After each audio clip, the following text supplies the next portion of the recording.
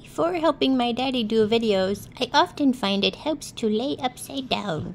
Just let all the thoughts go to my head. Max, relax. Think about true crime. Figure out what I'm gonna say. Maybe even take a nap. But if you haven't tried it, I definitely recommend upside down relaxing is the best. Mommy, leave me alone. I'm trying to think.